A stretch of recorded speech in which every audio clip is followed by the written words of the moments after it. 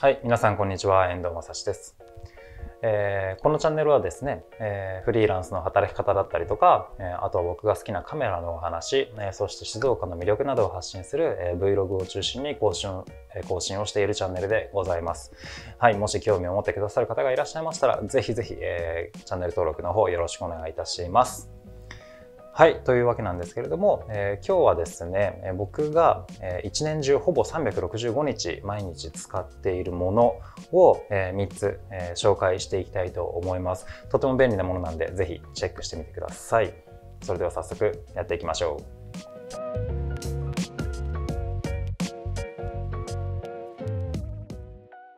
はい、えー、僕はですね、フリーランスとして独立をして4年目になります。えー、在宅ワークを、ね、主に、えー、仕事をしていて、朝から晩まで本当にデスクワークをしているんですね。そういった僕の生活リズムの、えーと、観点から、え、紹介する商品を、え、3つ、え、今日はお話しさせていただくんですけれども、もちろんそういった生活スタイルじゃない方にとっても、え、とてもいい商品だと思いますので、えー、ぜひぜひ、え、聞いてください。はい、それでは早速やっていきます。まず1つ目、え、Apple Watch です。この Apple Watch は、えっと、本当に僕気に入っていて、2年ぐらい前から、えー、使っているんですね。で、この Apple Watch、えー、本当に朝から晩まで肌身離さずつけています。えーそのね、細かいスペックだったりとかデザインとかは、えー、ウェブサイト、公式のウェブサイトでチェックしてほしいんですけれども、えっと、現行2021年10、えー、2月1日現在の現行モデルは、えー、Apple Watch のシリーズ6と、えー、SE っていうもうちょっと安い、えっと、ライトなモデルが出ています。僕は、えっと、シリーズ4を使っていて、えー、もうかれこれ2年ぐらい、え、使っているんですけれども、これが本当に便利です。はい。えっ、とね、細かい、その、なんていうんですか、機能っていうのは本当にたくさんあるんで、全部は紹介できないんですけれども、主に僕が、僕のような生活スタイルの人が、えっと、どういう使い方をしているのかっていう部分に関して、えっと、ちょっと紹介したいと思います。まあ、僕が主に使っているのは、えー、スーパーとか、えコンビニとか、えレストランとかでの、え支払いで、えっと、こうやってピッて、えー、やっています。あとは、えー、スケジュールの管理だったりとか、えっ、ー、と、AirPods と連動して、えー、音楽を聴いたりとか、え週間天気を見たりとか、えあとは LINE の通知を確認したりとか、えまあ、そういうね、使い方を主にしているんですけれども、それ以上に僕がいいと思っていて、えっ、と、よく使っている機能っていうのは、えっ、と、ワークアウトですね。ワークアウトっていうのは何かっていうと、この Apple Watch ですね、えー、自分のバイタルの管理要はその健康管理にとても貢献してくれるものなんですね。えっと、前の動画で、えーまあ、フリーランスの心得っていう動画の中で、えー、その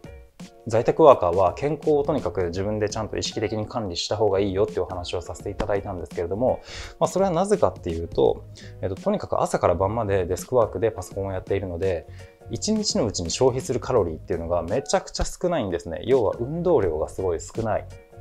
運動量もそうだし、えーと、歩く歩数なんかもそうだし、まあ、とにかく、えー、体を動かさないっていう方が、えー、多いと思うんですね。まあ、そこを意識的に、え改善するために、このアプローチを僕は使うようにしています。えー 主にですね、主にですね、というかこのアクティビティリングっていうのが、えー、あるんですけれども、これは、えー、と何かというと、ムーブ、エクササイズ、スタンド、この3つの進捗状況によって、え、構成されているリングで、それぞれの、え、進み具合に応じてこうリングがだんだんこう一日を通して完成していくっていうちょっとゲーム感覚で自分のバイタルを管理できるっていう機能なんですけれども、えーと、このムーブエクササイズスタンドって何かっていうと、え、ムーブっていうのは、え、自分が、えー、普段安静にしている時以外の、えー、消費カロリーですね。例えばエクササイズ何かした時、ウォーキングだったりとか、えー、ランニングだったりとか、サッカーだったりとか、ヨガだったりとか、何でもいいんですけど、そういう、えー、アクティビティを何かした時に、えー、計測されるもの。で、えっ、と、エクササイズっていうのは、え、そういったワークアウトをした時の時間を測ってくれるもの。で、3つ目のスタンドっていうのは、1日のうちどれぐらい経っているかっていう時間を計測してくれるものですね。えー、この3つで構成されたリングです。なので自分が今、えー、一日を通してどれぐらい動いていて、えー、どれぐらい座りっぱなしなのかっていうのを視覚的に認識することができるっていう、えー、ものです。そして、えー、ワークアウトのメニューがですね、たくさん入ってるんですね、ここに。え柔軟体操だったりとか、室内ランニングだったりとか、ウォーキングだったりとか、筋トレだったりとか、本当にたくさんの、えスポーツ関連の、えメニューが入っています。なので自分がこれからやるものに、えっと、応じて、えっと、そのメニューをピッて押してあげて、え、計測をスタートしてあげるだけで、より正確に、え、自分がそのワークアウト中の、え、バイタルの状態っていうのを、え計測をしてくれます。え現行のね、シリーズ6だと、その、えっと、センサーがまた変わったみたいで、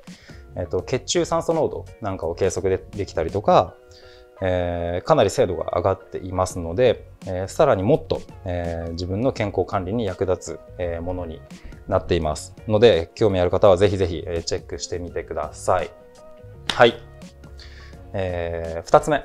え、2つ目はですね、え、これ。え、ブルーライトカットのメガネですね。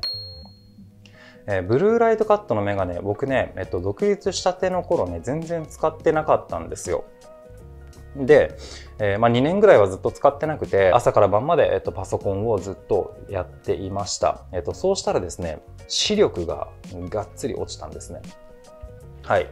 えっと、また、その在宅ワークのですね、えっと、メリット、デメリットとか、僕がここまで4年間働いてみて、えー、感じる普段の悩みだったりとかは別の動画で出そうと思っているんですけれども、その中の一つに、その視力問題っていうのがかなり大きくあって、えー、ずっとデスクワークしてますし、スマートフォンもずっと多分人よりも触る方だと思うんで、えー、目がとにかく疲れるんですね。はい。視力が落ちるだけじゃなくて、えー、その眼性疲労が本当に、えー、溜まりやすいです。はい。なので、これから在宅ワークとか、まあフリーランスとして独立される方、したいと思っている方っていうのは、これ本当に大事にした方がいいと思います。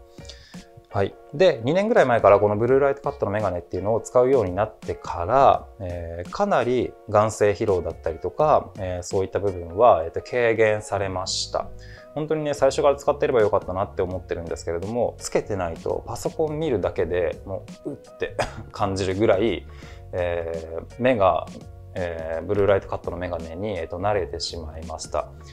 もう本当ね、視力だったりとか、もう本当に大事だし、日々眼性疲労とは戦うことになると思うので、少しでもね、そういった部分を軽減するために、えー、ぜひ使ってみてください。3つ目は、えー、このえスマートフォンではなくスマートフォンのカバー、えこれはですねさまざまな、えー、便利グッズをですね日頃からデザインされている、えーと、ECBB さんという会社さんが、えー、デザインしている、えー、スマートフォンケースです。本当に、えー、何度もグッドデザイン賞とかを受賞されていてたくさんいろんなね、えー、いいグッズがここの会社さんからは出てるんですけどその中でも、えー、と僕が特に気に入っていてもう何年も使っているのがこのパルモというスマートフォンケースです。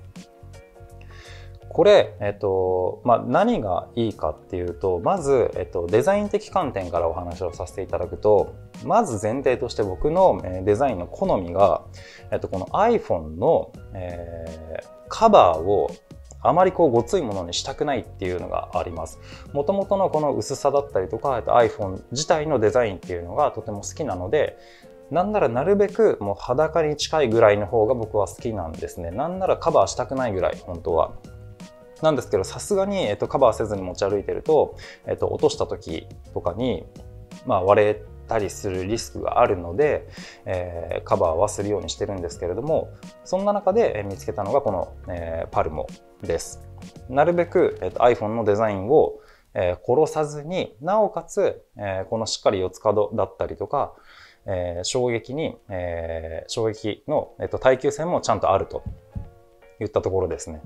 え、角だけじゃなくて、えー、ちょっとした、えーと厚みもあるので、まあ、こういう平たいところだったりとかに落としたり置いたりしても、え画面が、え地面に干渉することはありません。まあ、デザインの好みは、ね、今言ったような感じでとても気に入っているんですけれども、え、それ以上に機能性ですね。今、え、ここまで、え、ブルーライトのカットと、えっと、Apple Watch 主にその健康管理に貢献するっていう視点でお話をさせていただいたんですけど、このパルモも、えー、めちゃくちゃ健康管理に貢献してくれます。どういうことかというと、こうやってね、ここに中指を入れて使うのが、え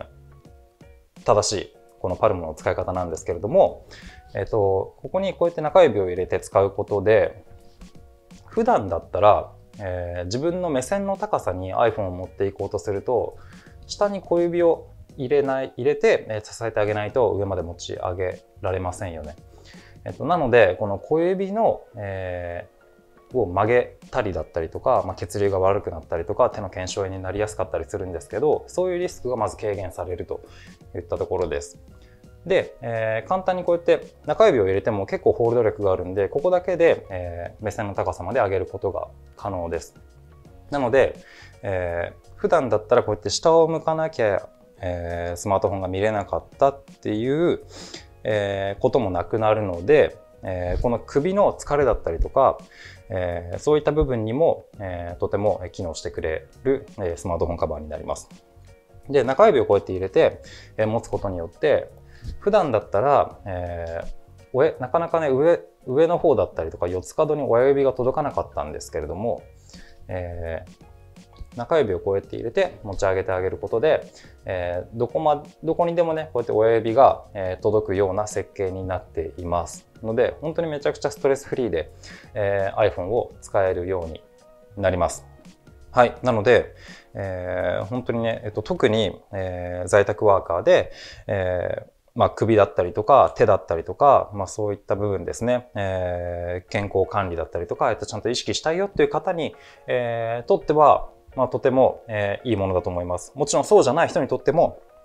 デザインもとてもスタイリッシュだし、えー、とてもいいものだと思います。今ね、このシリコンのタイプと、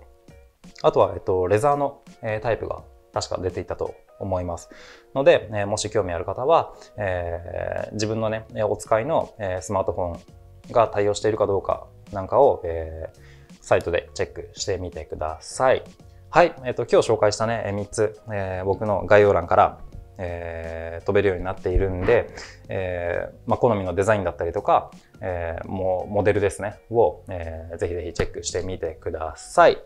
はい、ということで、えー、本日の動画は以上です。はい、この動画が、えー、もし良かったと思ってくださった方は、ぜひぜひ、えー、グッドボタンとチャンネル登録をよろしくお願いいたします。はい、えー、今日はありがとうございました。また次の動画でお会いしましょう。あ、Twitter と Instagram も、えー、日々アップしているんで、そちらもお気軽に、えー、フォローしてください。ありがとうございました。バイバイ。